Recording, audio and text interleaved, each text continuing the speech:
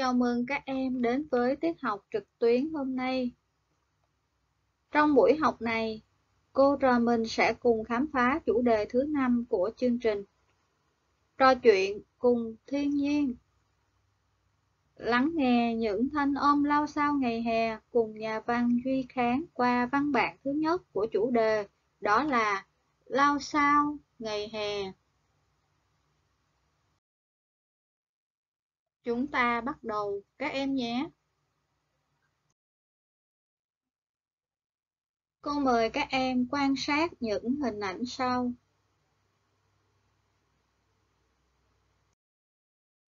À, các em có thích không? Câu cá, thả diều nè. Những hình ảnh vừa xem gợi cho em liên tưởng đến điều gì? Em hãy chia sẻ với các bạn về một sự việc tương tự mà em đã trải qua hoặc chứng kiến nhé. Như các em biết rồi đó, một năm có bốn mùa, mỗi mùa có vẻ đẹp riêng, nhưng có lẽ mùa hè luôn là mùa đặc biệt với mỗi đứa trẻ, phải không các em? Mùa hè có hàng phượng vĩ gọi về, có những trận mưa rào xối đi cái nóng oi ả. Mỗi người có cách tận hưởng mùa hè khác nhau. Có bạn sẽ thích vung vẩy dưới làn nước mát trong của dòng sông quê. Có bạn sẽ đến với những đồi cát hồng nơi vùng nắng gió. Nhà văn Duy Kháng cũng tận hưởng mùa hè theo cách riêng của ông và những trải nghiệm đẹp đẽ đó được ghi lại trong hồi ký tuổi thơ im lặng. Vậy, ký là gì? Hồi ký là thể loại văn học như thế nào? Có những đặc điểm nào cần chú ý? Cô mời các em mở sách giáo khoa trang 111 và tham khảo phần tri thức đọc hiểu nhé.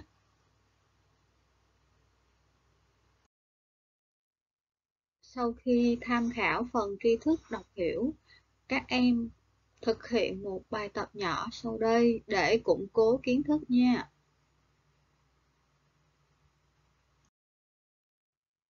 Các em nhớ nhé, ký là thể loại văn học coi trọng sự thật và những trải nghiệm, chứng kiến của chính người viết.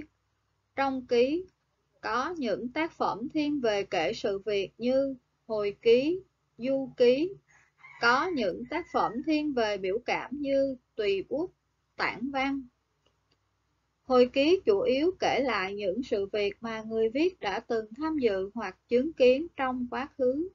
Các sự việc trong hồi ký thường được kể theo trình tự thời gian đó các em. Người kể chuyện ngôi thứ nhất trong hồi ký mang hình bóng của tác giả, nhưng các em nhớ là không hoàn toàn đồng nhất với tác giả nhé. Hình thức ghi chép và cách kể sự việc trong hồi ký thì như thế nào? Sự việc được kể trong hồi ký phải đảm bảo độ xác thực, được ghi sao cho thành chuyện và được kể sao cho hấp dẫn, sâu sắc. Sau khi tìm hiểu đặc điểm thể loại, chúng ta sẽ cùng đọc văn bản. Chuẩn bị đọc nhé!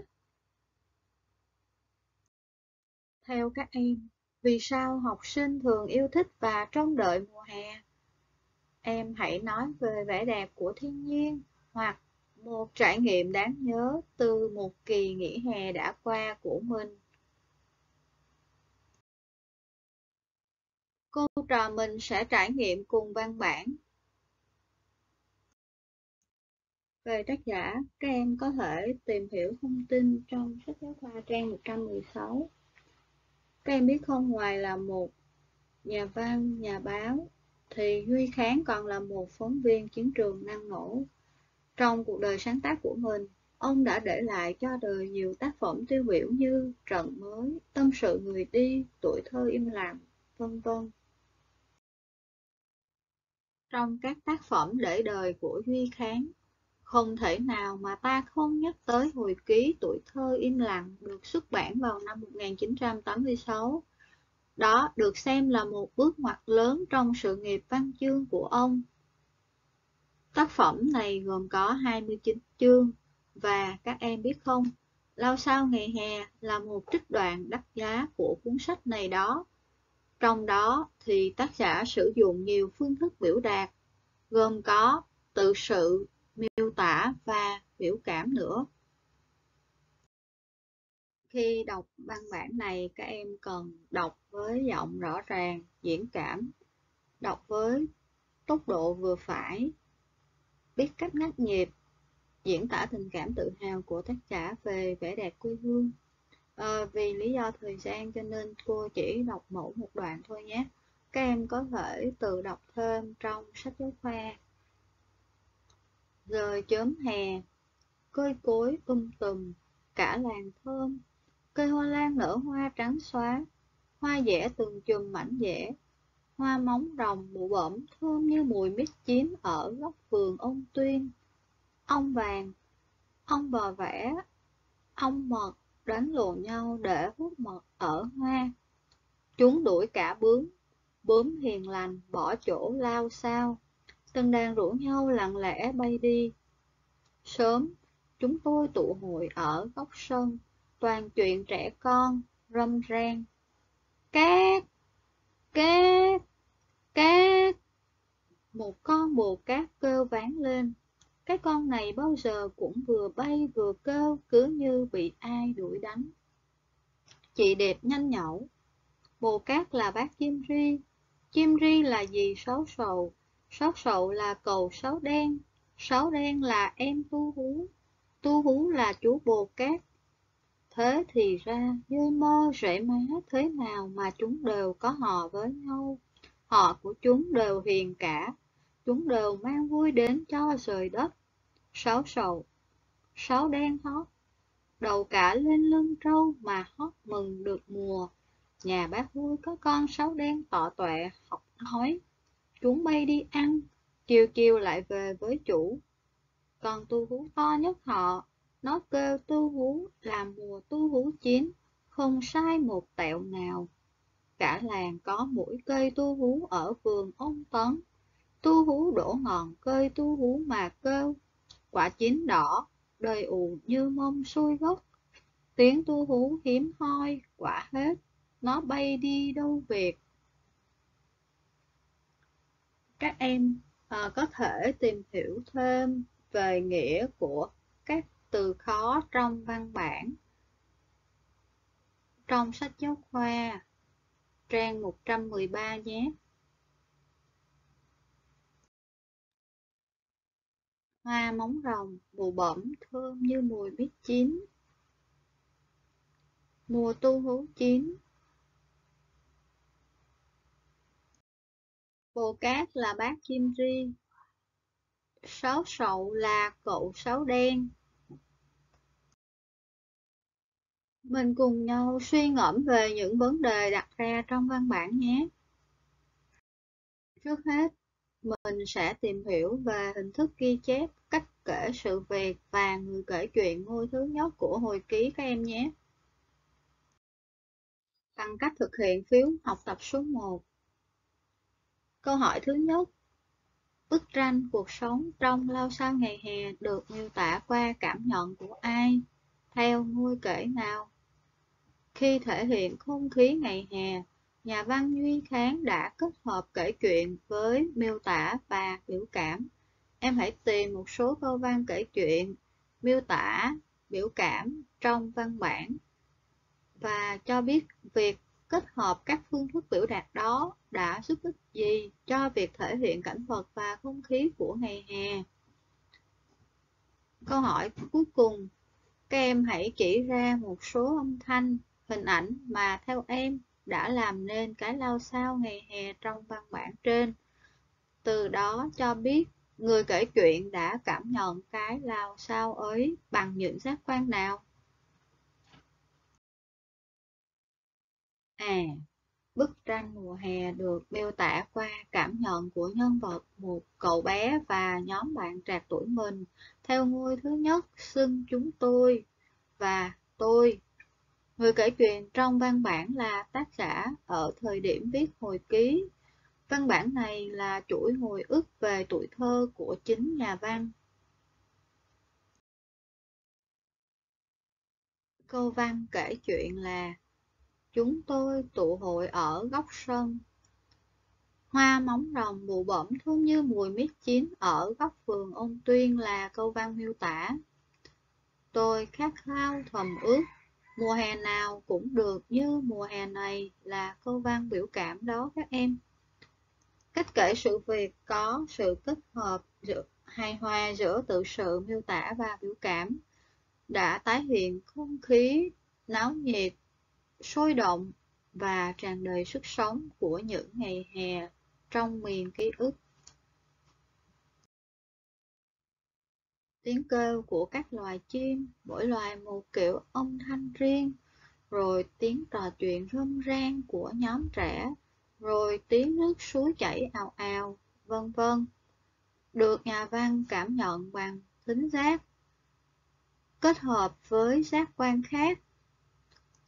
Cây cối um tùm, cây hoa lan nở hoa trắng xóa, vân vân, được nhà văn cảm nhận bằng thị giác.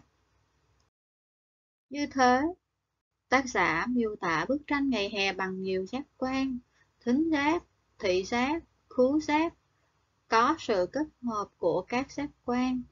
Qua đó, ta thấy được tâm hồn tinh tế, trong sáng, nhạy cảm và tình yêu thiên nhiên tha thiết của Duy Kháng. Tiếp đến, mình sẽ tìm hiểu tình cảm, cảm xúc của nhà văn thể hiện qua văn bản này nhé bằng cách hoàn thành phiếu học tập số 2. Các em theo dõi đoạn văn sau đây. Cả nhà ngồi ăn cơm trong hương lúa đầu mùa từ đồng trỏ thoảng về, trong tiếng sáo diều cao vút của chú chàng, trong dàn nhạc ve, trong tiếng chó thủng thẳng sổ răng. Chúng tôi no nê, rủ nhau giải chiếu ở hiên nhà ngủ cho mát. Ôi cái mùa hè hiếm hoi, ngày lao sao, đêm cũng lao sao, Cả làng xóm hình như không ai ngủ, cùng thức với trời, với đất. Tôi khát khao thầm ước, mùa hè nào cũng được như mùa hè này. Các em hãy cho biết, tác giả hồi ký, người kể chuyện, đã thể hiện những cảm xúc gì khi kể về những ngày hè đã qua của mình bằng cách hoàn chỉnh sơ đồ sau. Và tiếp theo, em hãy chỉ ra một số câu văn biểu lộ tình cảm của tác giả dành cho một số loài chim. Em có nhận xét gì về cách biểu lộ tình cảm bằng ngôn ngữ của tác giả?